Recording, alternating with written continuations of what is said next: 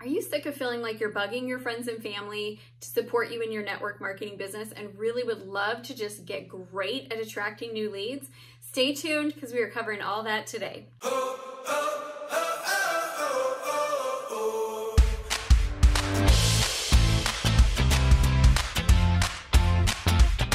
Hey, I'm Amy Walker. I am a client acquisition specialist, and my job is to help you find the simplest strategies to consistently finding your dream clients. And I'm excited that you're here on the channel today. I got my start in business in network marketing. Uh, direct sales was my very first business that I did, my first entrepreneurial effort. And I learned so much while I was there.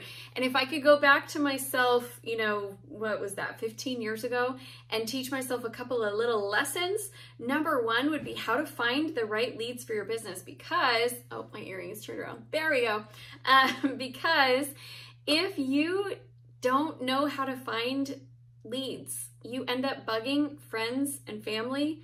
And then you, again, next time you need to up level your rank, you're bugging the same friends and the same family. And then you find yourself reaching out to people that you haven't talked to since high school. And then you're immediately trying to jump into, hey, why don't you come do business with me? Join my team. And it's a good way to lose some friends if you're not careful with that. So I know that you don't do that because you want to upset people or offend people or bug people. I know that it's really just a matter of not knowing what else to do. So today what we're gonna dedicate this video to is showing you great strategies that can help you be able to find leads who are actually interested and excited in your business. So today we're covering the do's and don'ts. I'm going to give you four things I think you should stop doing that are not helping your business. And I'm going to give you four things I think you should start doing that will bring you new leads consistently. And while we go through, I can share with you a couple things that I experienced on my journey to building my network marketing business as well. So if you are new to the channel, I would love for you to subscribe and hit that bell notification so you can get notified every time we release new content, which is three times a week. So the first thing that we're going to put on the don't list is don't rely on your friends and family. I'm not saying that you can't work with your friends and family. I'm saying when you rely on friends and family and think that's going to be enough to get you where you want to go, that's where you have too small of a pool of people and you end up pestering and asking the same people every single time you have a goal. And it becomes a, a process where they don't really take you seriously because they don't see you working with other clients. They don't see you out there doing business with other people. And I've never, ever, ever met a plumber who's like, oh, yeah, I'm starting a plumbing business. I'm going to just work with my friends and family, right? Like, no, you might start with your friends and family, but you've got to establish a customer base. So when you rely on friends and family, you keep your pool too small and it just doesn't work well. Second thing we got to stop doing is sending social media inbox pitches. You guys, it is not a good look it's not a great way to do business. And I get these on a regular basis. Somebody reaching out, it's the very first connection. It's like, hey, thanks so much for connecting. I'd love to hear more about what you do. And every time I get those, I'm like, would you really? Or are you just waiting to pitch me in the second message? And so that, sure enough, that second message is always a pitch. So whether your pitch is the first message or the second message, it doesn't matter. You should not be pitching people who have not expressed interest. You should not be pitching people that you don't have a relationship or communication with. You should not be pitching people that you don't know have a need or a desire. Like, we got to find the right people. If you'll do a little bit more work on the front end, you'll get a lot better results on the back end. And you can stop giving your industry a bad name because let's be honest, the number one reason you get objections, at least I did, was that people didn't want to join my team and do my business is that they didn't want to be network marketers. Well, why is there a negative association with network marketing? Because sometimes people do bad things because they don't know how to do it better. So we're to stop doing the social media inbox pitching and we're to start doing some other things that'll be more productive. Tip number three, third thing we got to stop doing is the bait and switch. So the bait and switch is where you pretend like you're interested in the thing that they do so that then you can sell them the thing that you do.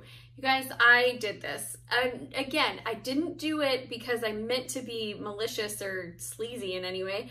I just didn't really know how to be successful at finding people when I first got started. And so I would do this. I would be like, oh, hey, you know, you do XYZ company. I'd love to host a party for you.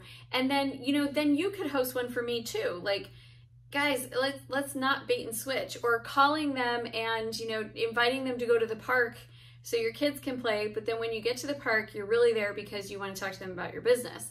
That is a bait and switch. Anytime that you are intending one thing, but you're putting something else out in front of it, so you can create a context to do that, it's going to feel a little bit deceptive. A better way to do it would be to find a really great way to just ask somebody and find out if they're interested or not. Ask for their interest level, ask for their needs. And I'm gonna show you some examples that do work, but we have to first agree we cannot keep doing the bait and switch. Okay, number four, don't be the person who on your social media is constantly talking about your product, your service, your product, your service, your product, your service. Because what will happen is you will attract in people who also love your product and your service. And so, you know, if it's essential oils, you'll attract all of your essential oils friends and then you'll have all this engagement, but it's not new people. It's not the right people. And so if you know it's you're always talking about your makeup brand that you sell, you'll attract in all of the people who are already in your organization. So we, we need to make sure that we're creating a better context for our conversations. All right, that's what we're going to stop doing. Now let's talk about what you should do. The first thing I'm gonna encourage you to do is a 30 day video challenge. You could do it on YouTube, you could do it on Facebook Live, you could do it on IGTV, you could do it on LinkedIn, wherever you wanna do it. But instead of just talking about your product and service, you're going to talk about the message behind that product and service. So if you are in a, a makeup company, you could do uh, before and after videos where you're talking about empowerment and self-esteem and healthy body image. If you're in a health and wellness company, you could talk about in general becoming more healthy and more well and covering basic principles and then sprinkling in your product. So you want to go message based, not product based. When you do that, people will resonate with the message. They'll be attracted to the message because they like the message they'll be more attracted to the product. The reason why the 30 day video challenge is awesome is because it's gonna freak out the algorithms and then all of a sudden Facebook is gonna give you a lot of visibility or Instagram is gonna give you a lot of visibility and videos are getting visibility and they're getting engagement right now. So it's a great way to push yourself and just see how many conversations you can generate through live, on the go, imperfect style videos. Um, I think you'll be surprised at how much return you can get from that. All right, second way you can get new leads is you can do a challenge group. So um, if you sell health and wellness products, you could do a like a five or a seven day group around detoxing. Um, if you are, you know, in makeup and cosmetics, you could do a uh, like a five day challenge of like every day is a new look, and you're you're teaching them certain skills of contouring. You know, day one contouring, day two eye shapes, day three, and you can kind of teach that inside of a challenge group. Um, if you sell um, life insurance, you could do a uh, you could do like a five day challenge around getting your will in place. Um, and then you know the life insurance becomes a part of that conversation. So the thing with the challenge group is you want to create a short window of time. I would not go longer than seven days. And during that time you're trying to create an engaging conversation around something that people are interested in and finding out within there who is interested and excited about moving to the next level with you. And it gives you an opportunity to sell as well. So it's marketing, it's getting new leads coming in, it's helping you to figure out who's interested, who's not, and then you also get to sell inside of the group as well. Third strategy you could do is you could go on podcast interviews. You guys, there are a ton of podcasts right now. It's really easy to get on podcast interviews.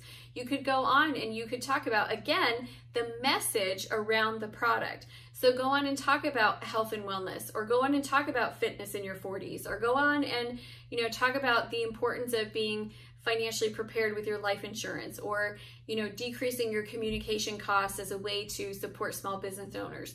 Go and pre- create a message and then in that, you give people a call to action to reach out and contact you. And that is a great way to get new interested people as well. Tip number four is JV events and webinars.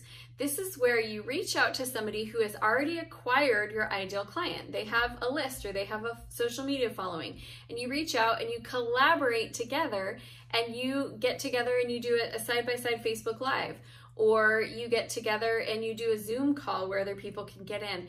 This is one of the easiest ways and one of the best ways to produce consistent leads. If you had one JV webinar or event per week, you could easily generate 20 to 50 new leads per week for your network marketing business. When was the last time you did that without bugging friends and family? So I want you to just kind of think outside the box a little bit and understand that traditional marketing principles are for you. I know that network marketing is great about teaching you how to get referrals, and, and I love that. And teaching you that every person knows two more. I love that. That's powerful. I wish that more traditional businesses would take that approach in, but I also wish that you guys would take in some traditional marketing principles into your business because far too many people, far too many, do great when they first start with their initial round of friends and family. But as soon as they hit the edge of their warm market, they're done. They stop growing. They don't know how to progress and they get stuck or they quit. And if you could get really good at bringing new people into your business, you would be able to help your team members through that phase. So I hope that this has been helpful. I would love to hear from you in the comments. What do you do to bring new leads into your network marketing business that works really well for you? And make sure that you subscribe to the channel if you haven't yet already. I also invite you to come and join us in our private Facebook group. It's called Acquire. It's a great place to ask questions, connect with other like-minded business owners, and just stay plugged in in the behind the scenes business conversation. So hit the like button, leave us a comment, share this with your friends who are also entrepreneurs. And if you need some more resources, I'd love to connect you with a free resource that I have. I have a book called the I'm Not a Salesperson Sales Book, Sell Like a Natural Even If You're Not. And there are a lot of network marketers that one of their hangups is they don't quite know how to sell. So if that sounds like you, I will give you the book for free. Go to www.salesarenmything.com. Thanks so much, everyone. I hope you have a great day.